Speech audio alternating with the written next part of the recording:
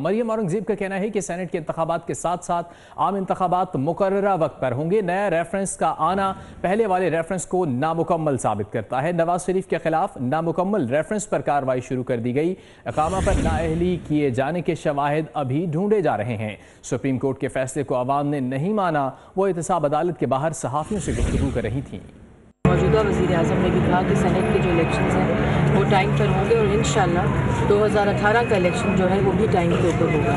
لیکن یہاں کیا ہو رہا ہے؟ یہ زیادہ امپورٹنٹ بات ہے۔ آپ نے سنا ہوگا کہ ایک نیا ریفرنس جو آیا ہے اور اس سے یہ چیز ثابت ہو گئی کہ جو پچھلا ریفرنس تھا وہ انکمپلیٹ تھا، وہ نامکمل تھا اور ایک نامکمل ریفرنس کے اوپر وزیر اعظم محمد نواز شریف صاحب کو پولیٹیکل وکٹمائزیشن کی تو ہمیں پرواہ نہیں کیونکہ پاکستان کی عوام جو جلسے آپ دیکھ رہے ہیں اور جو سپورٹ آپ گراس روٹ کے اوپر گراؤنڈ لیول کے اوپر دیکھ رہے ہیں، وہ اس چیز کو، اس چیز کو بیان کرتی ہے کہ جو فیصلہ آیا ہے سپریم کورٹ کی طرف سے، اس کو پاکستان کی عوام نے نہیں مانا۔ کہ ایک نامکمل ریفرنس پہ آپ کاروائی بھی شروع کر دیں اور آج تک آج تک آپ ایویڈنس ہی ڈھونڈ رہے ہیں، اس وزیر اعظم کے پیچھے جس کو آپ نے اقامہ کے اوپر فارغ کیا۔